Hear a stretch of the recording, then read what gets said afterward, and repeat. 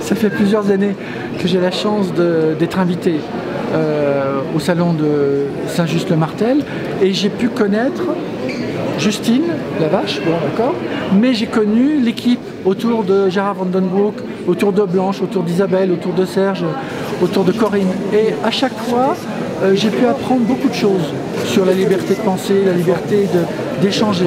Qu'est-ce que c'est qu'une liberté d'opinion? Et je me suis rendu compte que c'était un lieu de tolérance.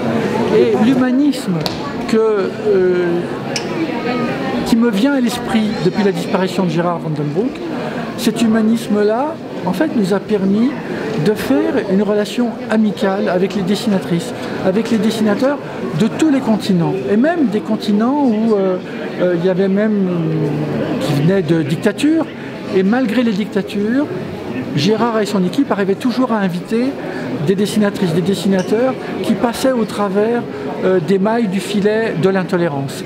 Et ici, c'était le lieu de la tolérance. Et donc cette tolérance-là nous permet d'apprendre, de faire des échanges et surtout de faire des ponts entre les opinions et les cultures.